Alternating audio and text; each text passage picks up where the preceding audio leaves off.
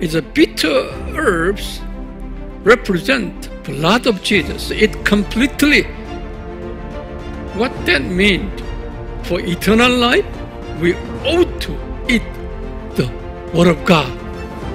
Jesus came to this world in water and blood. That means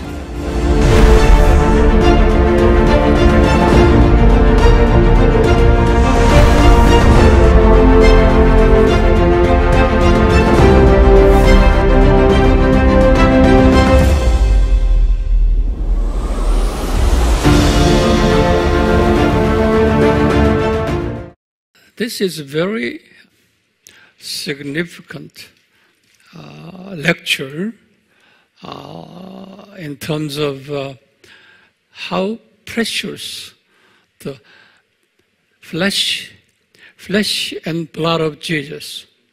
Okay, uh, in relation to the Passover meal, uh, applicable to our daily life and our uh, regular uh, teachings on this particular issue. Okay, now, lecture 12 is a Passover meal, symbolizes the Jesus' flesh and blood. Okay, now here, on January 15th, January 15th always regards as the evening after 6 p.m. of January 14th. Remember that, okay? Thursday evening, because Jewish calendar system starts 6 p.m. as a day. Okay? Now here, here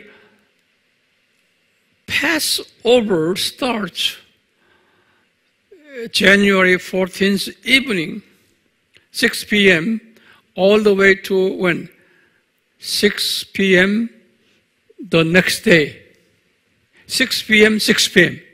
That is a Passover day. Okay? Now here, Passover day begins according to Moses' teaching the Passover meal. Okay, where is where Moses Exodus 12 verse 8. Uh, Moses was told by Jesus that on that day, okay, you ought to eat three, three elements three elements. Number one is the body, the meat of the lamb. Okay? But condition is not boiled. Okay? It should be burned. Burned. But it's important burned, but it's just burned and you eat in its entirety. Do not, no leftover. If you find any leftover, please burn out before the dawn. You have to eat completely. What that meant to us? Jesus died on the cross in his, in his completeness Okay? Not a partial death. It's in complete sacrifice, complete death. That's the meaning. Burning. Burning means that. Okay? Now, here, first element is what? You eat the meat and burn the meat. Okay? Second part is unleavened bread. It's a bread also symbolizes the body of Jesus Christ. But unleavened is no yeast, meaning unblemished. no sin. His body is unblemished body. No sin contained body. That's, that's why we have to eat that unleavened bread. Okay. Third part is bitter herbs. Bitter herbs. Here is bitter herbs. I explained to this.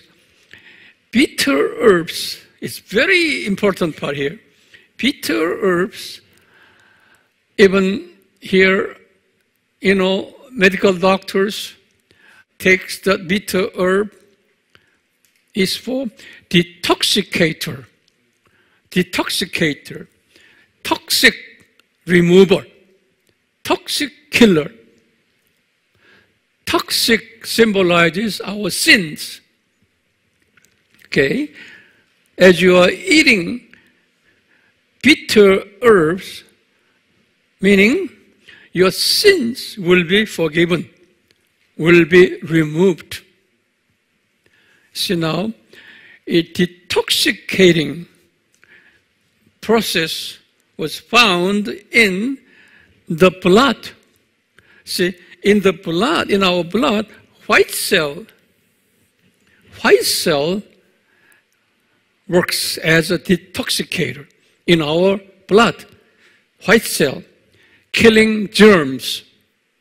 If you have, you have to have a, a optimum level of white cell to protect from any diseases, any toxics, any contaminations. White cell.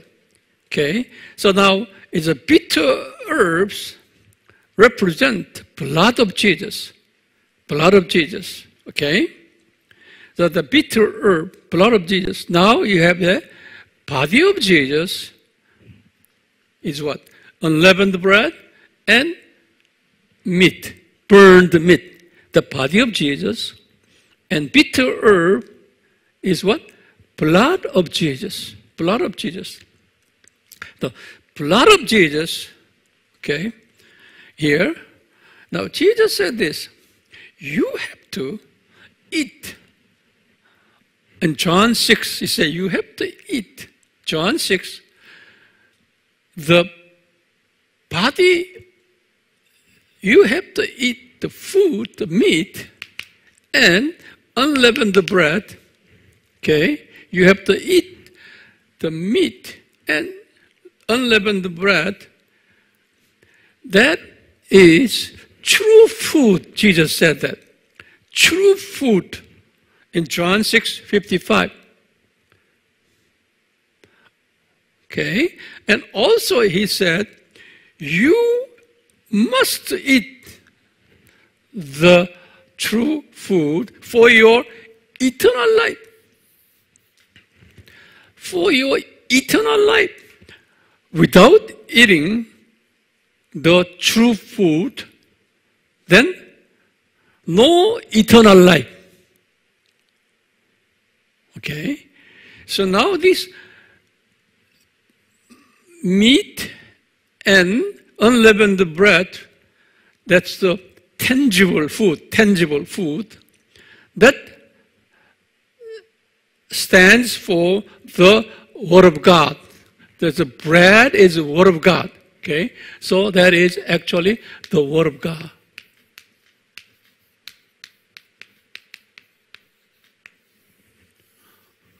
We have to study the Word of God all the time. You're eating. Now, for eternal life, we ought to eat the Word of God. Meditate the Word of God. Now, that is not enough. You have to eat with a bitter herb. Bitter herb. Bitter herb, as I said, is detoxicator, white cell in blood. That is that symbolizes the blood of Jesus Christ. The bitter herb symbolizes the blood of Jesus Christ. And Jesus said, that blood is a true drink. That's a true drink. John 6, 55. That is true drink. The other, the, the body, you know, the meat and unleavened bread, bread it's a true food. It's a true uh, solid food. And the blood is a true liquid, liquid food. Okay? You have to, must drink for your eternal life. So, we need to eat two kinds of food. Okay? Solid food and liquid food for our eternal life.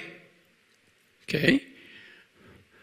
And later he said to John here, this is a very important part here. John, he said this John, Jesus came to this world in water and blood. He said that. See, Jesus came to this world in water and blood. That means detoxicator. Okay? Cleansing, removing our sins in water and blood. First John 5 6. And he, he continued to say this the water and blood is the Holy Spirit, he said that. The water and blood is the Holy Spirit. First John 5 8. So now we have, okay, the Word of God, that is what? Body of Jesus, bread of life, and the blood of Jesus all together combined for our eternal life. Now, to show us this, here, Jesus, he took the Passover meal. See, on the day of Passover, day, on the day of Passover, he, he actually showed his disciples, okay, and the bread, he took the bread, he said, This is my body, and the wine, this is my blood, and you must eat this, you must drink this, because otherwise you will not have eternal life. Yeah. So that was Passover meal, Last Supper. Okay. That story was recorded here in Matthew 26. That is, Matthew 26 is that January 15th. January 15th. Remember, January 15th. That's January 14th evening. Last Supper. This story was very much in detail in John. John has spent five chapters on that particular night stories, beginning with John chapter 13 and 14, 15, 16, 17.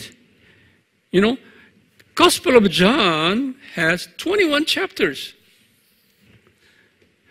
Out of 21 chapters, John spent five chapters. How many percent? Five out of 20, 21. Around 25%. Okay? Yeah, about quarter. One night event stories, the Passover stories, was recorded and takes 25% of entire John Gospel. That's a one night story. That much John's emphasized on the Passover meal requirement and importance and teaching us how valuable the crucifixion of Jesus and his the value of his body, his body and his blood for our eternal life. Okay? So today we have started triumphal entry of Jesus, which is what? January 10th. Okay? Then, four days testing stories, actual, his teaching on his identity. And after he finished four days, now he began the Passover meal in the evening of January 14th, which is the beginning of January 15th. Isn't it interesting? Yeah. I will continue on these issues next week. May God bless all of you and all of our people who will be learning out of this uh, website. May God bless all of you again. In Jesus' name, amen.